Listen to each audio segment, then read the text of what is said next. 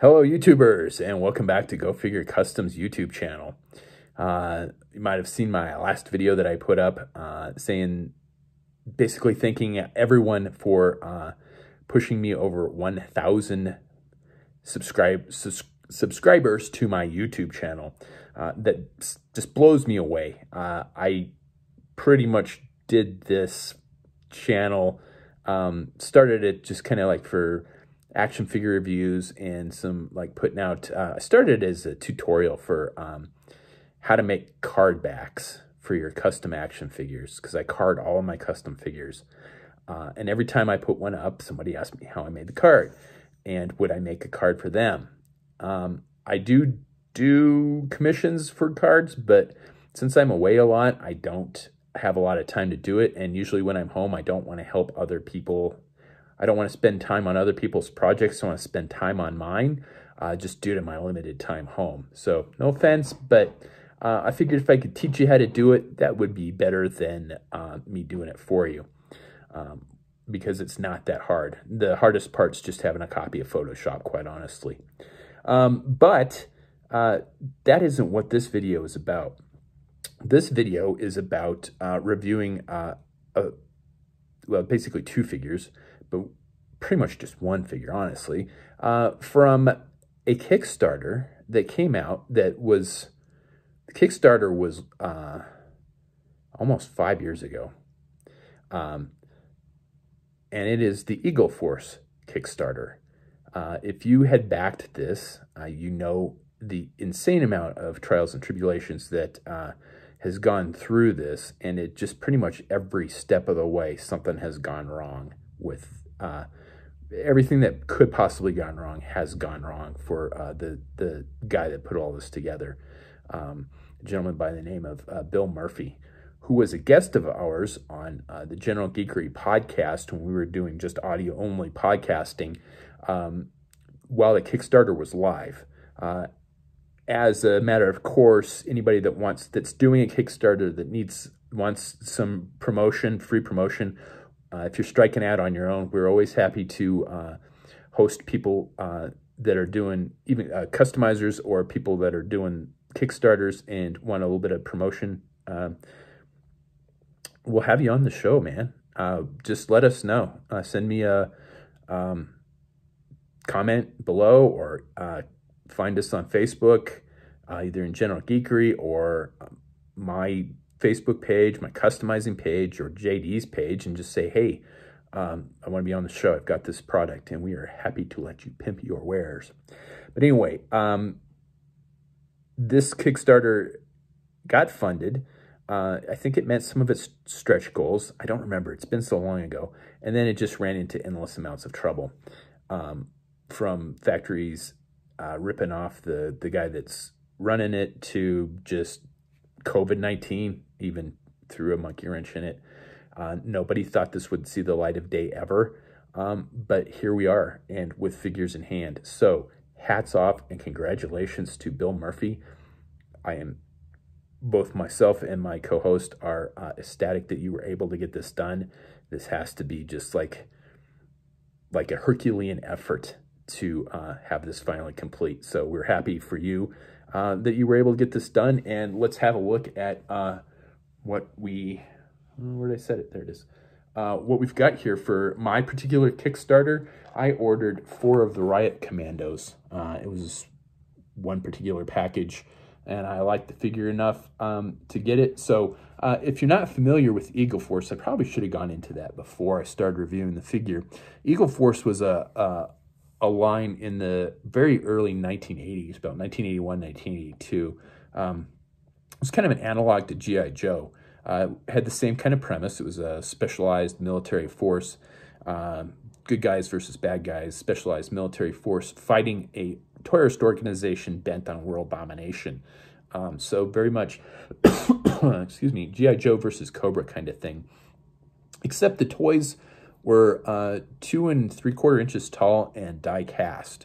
So that was the big, um, big difference between G.I. Joe and, and um, Eagle Force. Uh, most of the Eagle Force guys were in a were painted uh, gold as kind of a, a thing, and then the bad guys were kind of black and red, I think, if I remember right. I don't remember. It's been so long. I didn't have any of the figures myself. Um, as a kid, I, I think my co-host might have had one or two. I don't know. I'll have to ask him. We talked about that on the show four and a half years ago. Um, but this is the one I picked up. Uh, well, hang on. Let me finish. I guess we're not quite done with Eagle Force yet. Uh, so it was produced by uh, Mego, uh, and then they went tits up about 1982. They got one one wave of figures out and had a second wave planned, but I don't think the second wave got released. So there was a whole bunch of characters and um, pre-existing material out there that was ready to get released that just didn't make it. So uh, Bill was able to get the license for Eagle Force uh, and decided to make these in uh, 1 18th scale or G.I. Joe compatible scale. Uh, and the the figures that he showed on the pre on the Kickstarter looked awesome. It looked great. I was happy to see, you know, new new 118 scale figures. Uh, at that point in time, I was back in pretty much any Kickstarter that was doing 118 scale figures because I'm still kind of convinced that aside from that, you, are going to see new figures in this scale um, one of two ways now in the future. You're going to see them in small batch toy companies like Hiya Toys and Joy Toy Figures, um, or you're going to see them in Kickstarters um, through like Boss Fight and Marauder Task Force. Hasbro has pretty much given up the notion of 118 scale action figures, aside from uh, occasional Star Wars figures and the crappy reissued um, G.I. Joe retro line, which to me is just garbage, but that's, again, just my opinion. Um, so I, I, think that's where the future of 118 scale figures is, is going to be small batch toy companies and Kickstarters. So I backed it, uh, um, even though it was not a property that I, I was intimately familiar with, but uh, I had to, I, I jumped on board on this one. Um, so here's the, the packaging, I guess. We'll look at the front real quick. And I'll read all the stuff off here real quick, but let's just have a look at it real quick. So there's a list of figures here. And I don't know, I honestly don't know what figures got made because I know they didn't make all of their stretch goals. So I don't know what figures are are and are not coming out. But uh, with them making their, with this getting produced, um, we shall see once all the uh, Kickstarter pre-orders are uh, fulfilled, what will be available on a retail website. Uh, he's selling these through www.freshmonkeyfiction.com. Uh, and I have looked at the website um, just to see if there's like a uh, price point on the figures. Um, and he it says the figures will be up in July. So a couple more months on that. Uh, I don't know what the price point will be. Um, I'm guessing, I won't even speculate let's just not even go there. So on the back, we've got um, the long retired Captain Eagle is recruited back into active duty by his former teammate General Brown. Together, they enlist a new generation of Eagle Force team members to combat the re-emerging forces of Riot, a terrorist organization driven by desire for total global domination. Riot versus Eagle Force. Uh, experts at many forms of the latest military weaponry, the riot commandos undergo an aggressive training regime, then go through significant conditioning in preparation for the uh, for using proprietary riot technology. Many commandos rise from the shock trooper ranks, but many others still are personally sought out and hand selected by upper echelon riot leaders, uh, specifically for their willingness and their ability to do whatever riot requires. Uh, Eagle for uh, Riot Commando, terrorist, elite terrorist operative. Uh, quote from Captain Eagle says, uh, "These guys aren't just terrorist cannon fodder. They are a force of nature, personally recruited, honed, and prepared for the exact type of conflict they'll be instigating. Eagle Force must be prepared to deal with them." Uh, the figures that are available on the back, we've got Captain Eagle, the leader of Eagle Force, Striker Jr., who's a sniper, sharpshooter, the Cat, who is the espionage expert, Fireball, which is uh, pyrotechnic sabotage, so it looks like uh, one of the bad guys, Firebug, pyrotechnic infantry for Riot, uh, the Riot Commando, uh, Riot Shock Trooper, and the Eagle Force Trooper. Uh, the Eagle Force Trooper looks pretty cool. I think I'm gonna have to get one of those. And then um, some credits, and then some, uh, you know, uh, warning about not for children under three and such like that. Uh, on the front, we've got Riot versus Eagle Force, Riot Commando, Elite Terrorist Operative. The roving uh, uh, Riot stands for the Roving International Organization of Tyranny. They wreak havoc and chaos worldwide. All right, so that's uh, the packaging. Uh, packaging is always one of three things that I I, uh, I talk about uh, during any figure review. And I love this packaging because number one, I can just fold up the tabs. I can slide out the back. Weapons are in a weapons and hands are in a little Ziploc bag. And pull out a little blister tray and there's my figure. So the figure, uh, there is a card that comes with the, the Kickstarter that says before adjusting any stuck joint articulation, we recommend one of the following. Either soak the figure in hot water for two to three minutes or heat any joint, especially the waist, with a hair dryer on low heat. You can gently move the figure a little bit at a time, bending back and forth to loosen any stuck articulation. Please use caution and move slow as not to burn yourself or damage the figure. That's printed on both sides. And that is something I've been saying uh, since I've been doing video reviews. If you've got a, if you've got stuck articulation, don't force it. Heat it up. And it, oh, seeing his leg keeps popping off. Which is not uncommon on ball joints like that. Uh, so articulation, we've got a barbell joint in the neck, uh, the regular shoulder and elbow articulation. The wrists are articulated, they swivel and up and down on the right, left, uh, also up and down. Uh, he does have extra hands. I'll go into those in a minute. Uh, the waist, there's a swivel at the waist. There's no mid-torso articulation. Uh, ball joint, hips, uh, double articulation on the knees. There's a mid-calf articulation right uh, at the boot line, which is clever. I like that joint that's, can't even tell it's there because that's where the boot attaches. Uh, and then it has uh, rocker heels, or rocker ankles, which are really nice. Um, and no toe articulation, which is fine. Um, I really don't have a problem with no toe, articulation. Um, so that is the Riot Commando. And don't worry, I'm going to do like a, a little pan around uh, here shortly. So I got four of these guys. Uh, probably leave them, leave one guy on the card just for shits and giggles. Um, and then I, I have a, I have two USS flags. Uh, one I have uh, all my like Joy Toy and Acid Rain figures displayed on, and the other one I have like, it's just kind of a menagerie of 118 scale figures. So I've got G.I. Joe on there. Uh, I've got um, Hellboy. I've got just like anything. The only thing that's not on there is Star Wars, and that's because they're in an, another display in another room. Uh, let's see what he came with here. A little Ziploc bag. That looks like a G36 rifle. The sculpting is a little soft for me. Um, I'm not not real a fan of the weapons that it comes with. Um, but to me, that's not such a huge deal.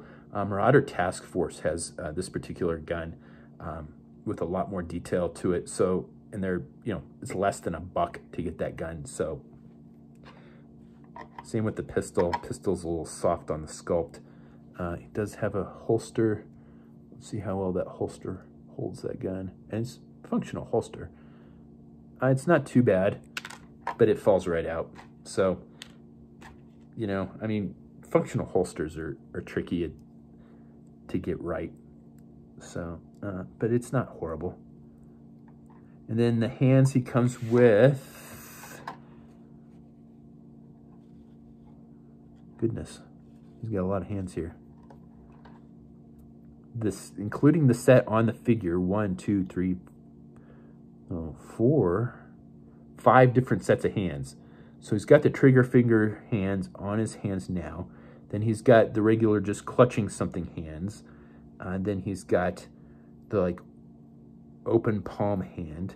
And then he's got another set of clutching hands, which I'm guessing the articulation is either up and down or in and out. And then uh, fists, which uh, have um, joints in them as well. Uh, I don't plan on switching out articulations, quite honestly. It's cool that you have them, uh, but not really necessary for me.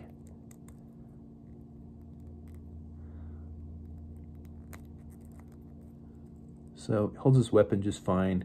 Uh, pistol does not really want to stay in too well, but again, not that big of a deal. Uh, the vest does come off, uh, and I like the pegs. Um, pegs just sit in holes on the vest rather than trying to peg something in or get a strap underneath. Uh, I, I, I like how the vest sit to, sits together. They did a good job on that. It's hard to get those right, and I think simpler is better, and it works really well on this figure. Oh, he's got a nice little Riot logo tampo on the right sleeve. I didn't notice that before. All right, so let me kind of gear one of these guys up. And then I'll do a uh, kind of a pan around with the camera so you can get a bit better view because when the camera's focusing on me, it doesn't like to zoom in close on these guys.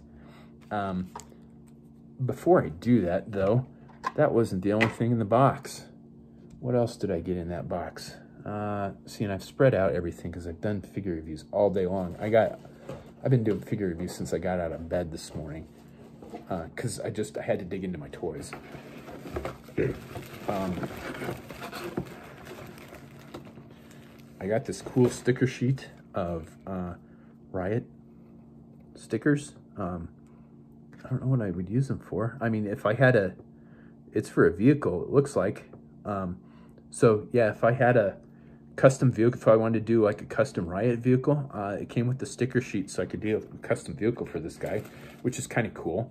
Um, I don't plan on it, but just the fact that I can is awesome.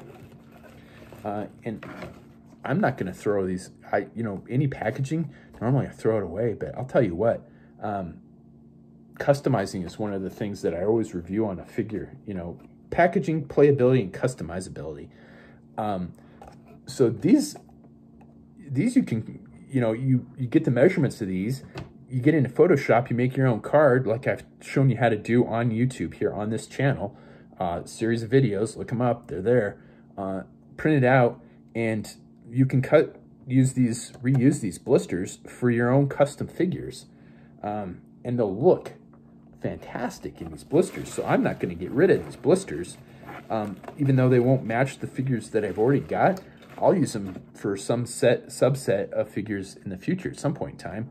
Um, so let's see, there was something else in here. Oh, yes, that's what else was in here. Was a second free figure. Uh, and this is definitely a Snake Eyes knockoff. Uh, it's all one color. There's no, the eyes aren't painted. It, it kind of looks like a prototype, quite honestly. It came with a set of goggles. Uh, he's got a shoulder holster that's uh, functional. The holster holds like a, it's kind of like a snub nose P38 maybe, or a Walther PPK. Um, and then he comes uh, with the same like Colt pistol that the uh, Riot Commando did, uh, and then a M4 M203 kind of combo with the scope. Again, this the sculpt on the weapons is a little soft, but considering I probably have 50 of these of some sort of uh, M4 with an M203 just sitting in a bin somewhere.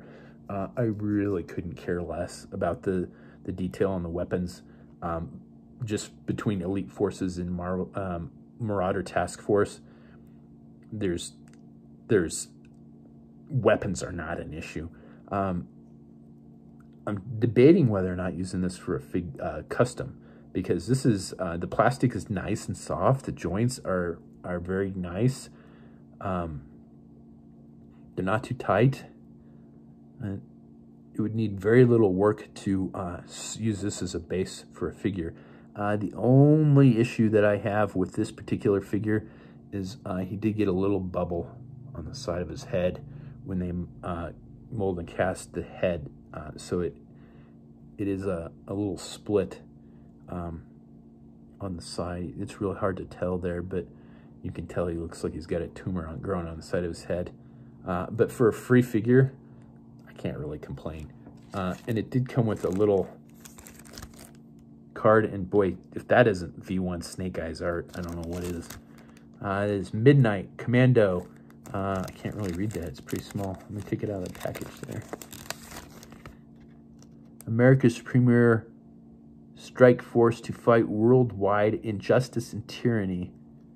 Uh, plus Eagle Force Bio Card on the back. Art by Stephen Butler. Stephen, you did a pretty good job on that. That, that looks really nice. Uh, code name or name Midnight Classification Commando, country of origin, uh, United States. Summary report: The man known as Midnight grew up in the rural farmlands of the Midwestern Plains, raised in isolated, raised in isolation by a family of preppers who strove to remain off the grid. He learned at an early age to rely on only himself. His parents would regularly depart for the wilderness to operate with local survivalists, leaving him alone on the farm. When he turned 15, his parents left for one of these retreats and simply never returned. He never told the authorities. He simply continued to live his life and eventually joined the Army Rangers the moment he became 18. Without his black mask, Midnight is open, engaging, and friendly, but once the mask is on, that all goes out the window and he becomes a ruthless machine operating in the shadows. And that is a quote from Captain Eagle. So there's the bio card. Uh, again, it, it's the eyes aren't painted, so it looks more like a test figure than like an actual figure. Um, it's still kind of cool though, for what it is, for, which is free. Me and Free are old friends, man. We go way back. The goggles are a little tight on the but yeah, you, you put those goggles down and it's, man, it's definitely an homage to the V1 Snake Eyes, uh, which is pretty cool. So let me set up the figure here and I'll do a quick pan around the figure so you can see it a little bit better. Oh, I'm sorry. I'm still a little jet lagged and I've been doing uh, marathon videos for like um, seven since 7.30 and it's about almost four now. So hang on a second. All right, so there is the Riot Commando. So it's kind of like uh, maybe a Cobra Viper, kind of like maybe Cobra Alley Viper too. A bit higher than the Peon, but I really like the looks of it.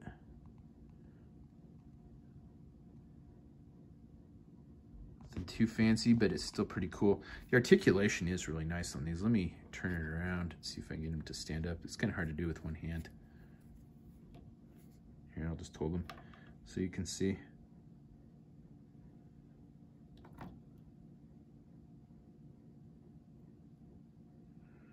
All right, so yeah, there you go. That is the Riot Commando from the Eagle Force Kickstarter line. All right, let me uh, flip this back around and we'll finish this off. So once again, I'd like to thank uh, thank Bill uh, for just like hanging in there and, and getting these out to the fans. Uh, I know there's a lot of Eagle Force fans out there that have been waiting for this again for a long time. We didn't think we were this was going to see the light of day, and I know Bill went through a lot of shit to get this done. Um, it took a lot of shit from a lot of people. So hats off to him. Congratulations for getting it done. these are are really nice figures. Um, the articulation is smooth. The, they seem really nice. I I think I think if this I think this would have really been a hit had it come out um, on time. How it will do when it finally does hit retail, I don't know. Hard to say. I'm hoping that it does really well though, um, because I do plan on picking up another one or two of these figures. um, because, and seeing where they go with this.